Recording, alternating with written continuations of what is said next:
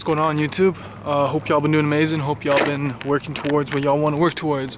Hope y'all been concentrating your energy, your forces, your your mental thought towards being better, to becoming the best version of yourselves, and achieving what you put your mind to. Truly, I really hope y'all been taking time to really develop yourselves, really fully delve into the the universe in a sense, and understand and live in the moment, live in the experience that we call life. That's what that's with all power, that's with all greatness. I, I wish that upon y'all. All I really want to say today is that today I lost my phone charger. I lost my phone charger. I didn't have my phone all day. I didn't have anything there to, I would say, guide me in a sense. I didn't have the time. I didn't have the weather. I didn't have my social media apps. I didn't have you guys. I couldn't check my statistics. I didn't have none. So I eventually, after I gave up trying to look for my, my phone charger, I went and bought a new phone charger. And in that walk, I swear to God, it was the most peaceful walk of my life to go buy that phone charger.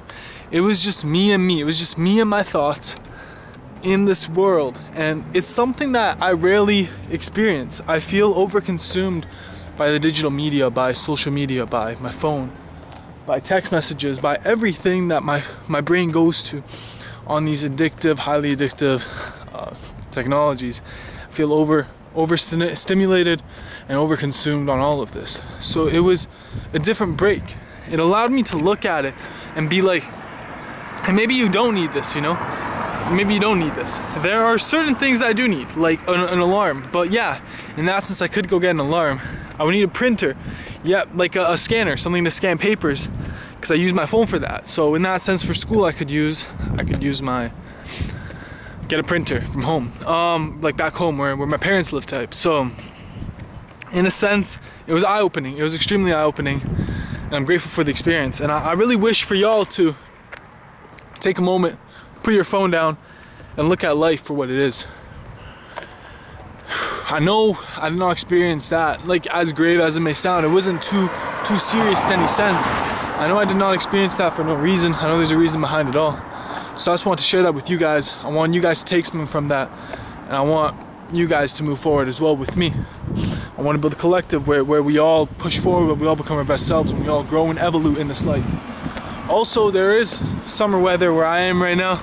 So in that sense, I woke up today and it hit me off guard to the happiness of, of summer, in a sense. Um, how, how beautiful summer really is. And how open my heart is to love in a sense.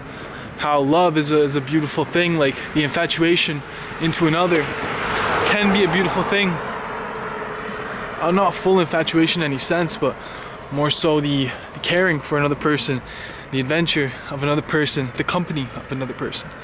Um, as beautiful as it may sound, somebody that can encompass my own inner workings, my own methodologies, my own experience, and help me boost myself, help me grow myself, and help me accomplish much more. And how beautiful a summer relationship really would be. And that's not me manifesting any sense, but it probably is.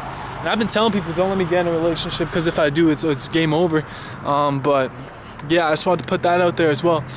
Um, so I really hope y'all continue growing. Take a moment to look at yourself without your phone. See what you really are. See the creature that you become. Um, look at life for what it is. Continue eating healthy think happy thoughts, stay off the porn, and, and grow. Grow as a person. Uh, I love y'all. Take care.